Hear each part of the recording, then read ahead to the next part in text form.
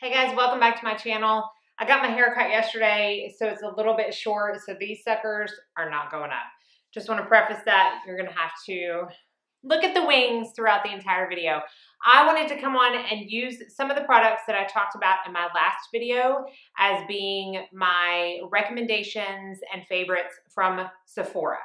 The VIB event is still going on, so I thought it'd be fun for us just to get ready because I haven't really done makeup, I feel like, in a while on YouTube. Maybe that's just me, but it will be a good way for me to showcase some of these products that maybe I didn't have on my face the day that I made the recommendation video. So let's go ahead and get started. Done my brows, prime my eyes, and put a bit of corrector under the eyes. It is super dreary today in Tennessee, and so I have my lights on full blast. Hopefully the lighting is okay. Let's go ahead and start with complexion. I am going to use the NARS Soft Matte Complete Foundation. I know that this is a foundation that you either love or you hate. And honestly, I can say that about all foundations. Like, just because I say that I love a foundation does not mean that every single person that views my videos is going to love it. Foundation is very personal. I personally like this. And I did go back on my Instagram and the past four client pictures that I posted all have this foundation on. So if you want to see how it looks on other people besides me, then you can check that out as well. I'm in the color Patagonia Medium 1.2. I talked about how this is an, also a great mixing foundation. I didn't talk about any kind of primers because I'm not someone who wears a primer every day, but I think I'd be remiss not to talk about the Hollywood Flawless filter, even though probably everybody watching this has already tried it or had it at some point. But I have a fairly new color. Um, I went through almost an entire bottle of three. I bought four, which is more of a skin tone color for me. I've used it on Instagram as like an all over kind of tint. But I'm just gonna put a little bit of that on my hand and mix it in with this NARS foundation just to give a little bit more luminosity.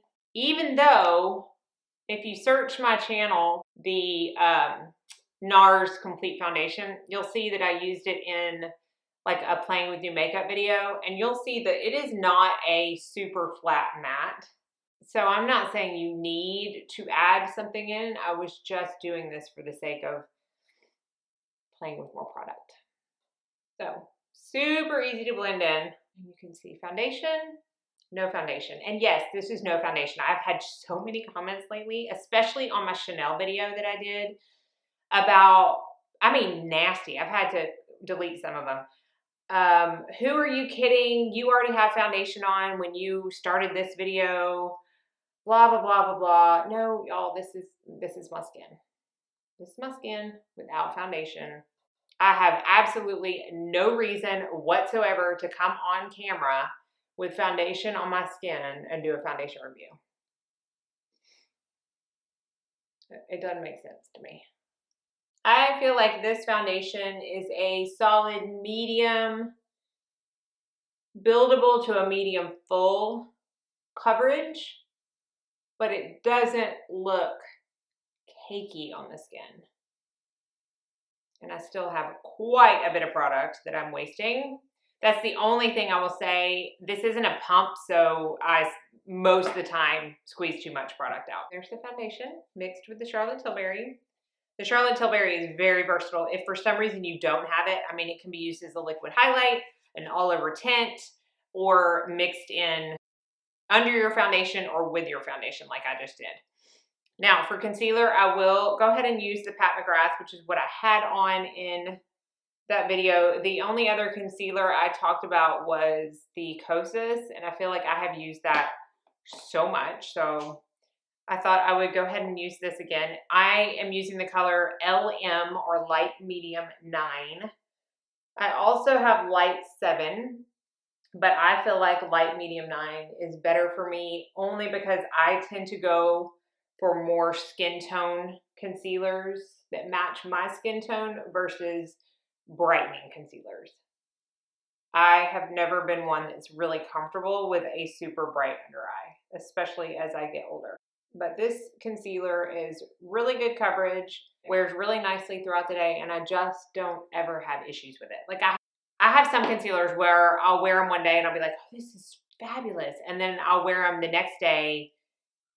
Yeah, not so fabulous. And this is just a very consistently good concealer for me. I'm going to use a cream bronzer. So let's do that before we start on the eyes. And I'm going to showcase the Tower 28 bronzer that I talked about. This is Bronzino in West Coast. I'm using the BK Beauty 106 brush, which is one of my favorite brushes for cream bronzer. I love the size of it. I like the density of it. And I'm just picking up some of the product and applying it where I would apply bronzer. Now, when I swatched it um, that day, I mean, it looks scary because it, it is an illuminating bronzer. It's marketed as one. It is definitely one. I mean, they're not trying to hide the fact that it's illuminating, but it can look a little scary when you swatch it. So I wanted to use it on the skin so that you could see how pretty it is. You can see I'm going all over my cheek, really. I mean, it's so pretty. I just want it kind of everywhere. I haven't gotten my order yet. I need to go back and check.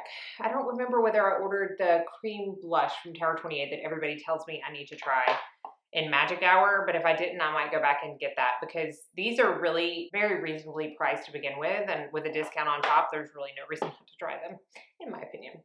All right, I'm gonna let that sink in. Look how glowy. Oh, I love, love the glow. Let's start on the eyes. I am going to be using the Viseart Petite Pro in Solstice. I had on Midsummer in that video, which was more of like a pinky look. Um, I have done a whole eye look using Midsummer. I will try to remember to link that down in the description box, but it's part of my most requested eye look series, which I have a playlist of, so you can find it there. I also talked about my favorite eye crayon of all time, which is the Caviar Stick from Laura Mercier in copper. So what I'm gonna do, since this is gonna be more of a copper solstice look, I'm gonna go ahead and apply this and show you how easy and how beautiful this color is on the eye. I mean, just right there. It's like, well, stick some bronzer in the crease and you're good to go. This is my second or third one and I'm almost done. It's, I think, if I'm speaking correctly, which I'm pretty sure I am, I think it is the only eyeshadow stick, crayon, cream type of product that I have ever repurchased. And I've repurchased it more than once. That's how much I love it. Now I'm gonna go into the Solstice palette, which looks like this. I think I forgot to mention on that video that these pans are also removable. I am gonna go into these two matte colors right here with my Rephr number 15, kind of mix them together and apply them into the crease. And quite honestly, I'm, I mean, I'm probably gonna be topping this copper color, but you'll see, like this is an eye look in itself. Just that caviar stick with a crease color. And I'm not even saying you have to put a crease color um, in the crease with this. You don't by any means. In fact, the matte versions of the caviar sticks, I often find myself will just put all over my lid, blend it up into the crease, and call it a day, which is why I love them so much because they're great for travel they're just one and done. They're fabulous. But for the sake of showing you these products, I'm going to top this color with a, I'm going to start out with this color right here. And I'm going to use my Rephr number two brush. And I'm going to place that more on the inner half of the lid on top of that copper stick. And then I'm going to turn the brush around and I'm going to go into this darker color right here, but that still has a little bit of sheen to it right next to the color we just used. But you can see it's much darker. And I'm going to place that on the outer corner. So it's almost an extension of that lid color, but you're giving yourself some dimension like you would using an outer corner shade, which to me is typically a matte shade. So this is kind of like two birds with one stone. And it's a very pretty color. I'll swatch that for you. It's like a rust burnt copper color. Isn't that gorgeous? Y'all, you can absolutely cannot go wrong with Viseart. You just can't. So while I could go back into this like little matte brown shade right here for the outer corner, I don't feel like I need to. I feel like those three steps make a very pretty eye look. Now let's go ahead and set the under eyes with my Pat McGrath Sublime Perfection Setting Powder for the under eye in light. I use my Wayne Goss number two to set and I basically just press it in. I don't swipe because I don't want to mess up the concealer that is underneath. I'm just pressing. And it's set. I was going to use the Shiseido powder, but this is a little bit of a radiant powder and I feel like I'm pretty radiant as it is. So I'm going to go in with the Charlotte Tilbury powder that I mentioned. This is the Airbrush Flawless Finish powder in medium and my La Mer brush, my La Mer powder brush, which is also something to look at at the sale because I do love this brush. Super soft, super expensive. So if you can get it at a discount, got something in my eye, then all the better if you have been eyeing this brush. Highlight, Clinique, powder, powder, power, flower. Oh my goodness, I was right the first time. Clinique Powder Pop Flower Highlighter. It gets me every time. Oh, this is the one I did have on in that video because it's one of my favorite highlighters. It is, again, peachy in undertone, but it's not like you're not going to be painting a stripe of peach onto your cheek on that, but it's just so pretty. It's not glittery. It's a big gelée, so you're not going to get any like big particles of anything on your face. It's just very, very pretty. Now I'm going to use the blush that I had on in that video too. This is the Dior blush in Charnel. And this is very, very neutral, goes with everything. Not super shiny. I mean, look at that color. So pretty. And you know, I've got a buff. Radiant Light Hourglass, It Cosmetics Duo Fiber Brush. Not sure if you can get this brush at Sephora, but I do believe it's at Ulta now. No harsh lines. Now, I'm going to show you, I had mentioned the Charlotte Tilbury powder, how a lot of times if I get done with my makeup and I'm like, oh, maybe I'm a little shiny in areas that I don't want, I will go in with, this is the Jane Iredale Flocked Sponge, which is one of my favorites for touch-up and I'll put a little bit on the flock sponge. And then I'll just take it right in like this little areas that tend to get a little shiny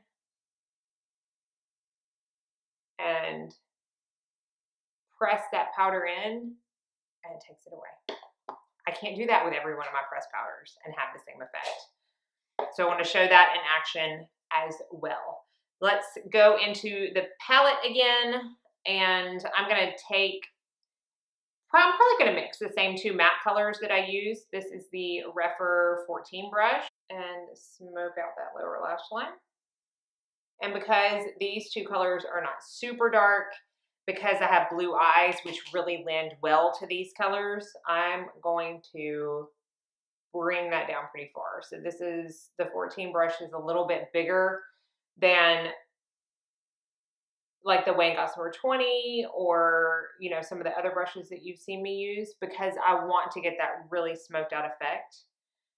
So I will choose a larger brush like this for those days. Now, if I was going in with the, that dark, dark brown, I would not use the size brush.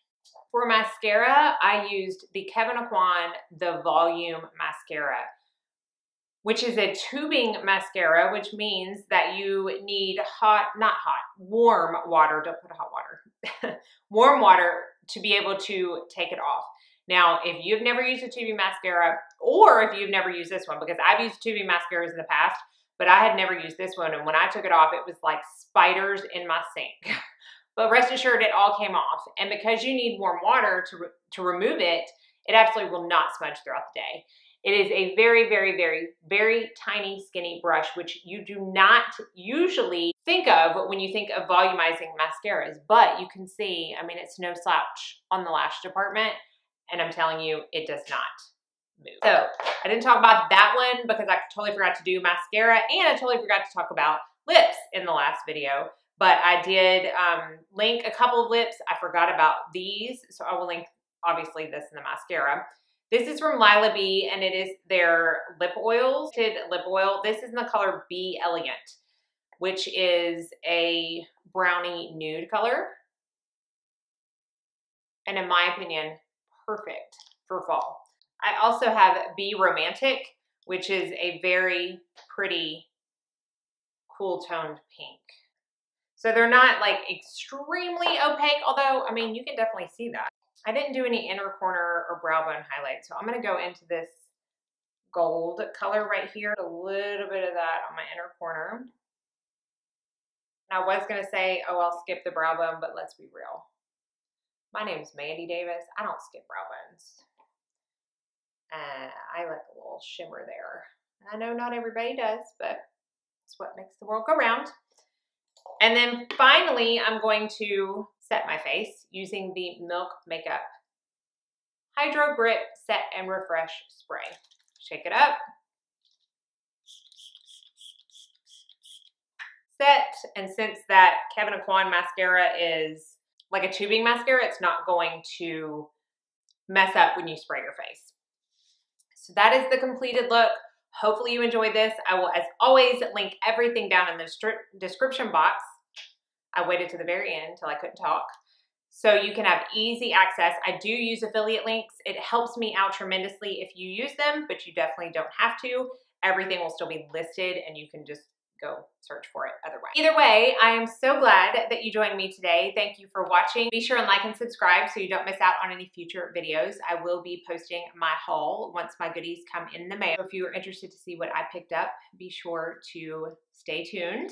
I hope you're all staying happy, healthy, safe, and sane, and most of all, that you go out and have a very blessed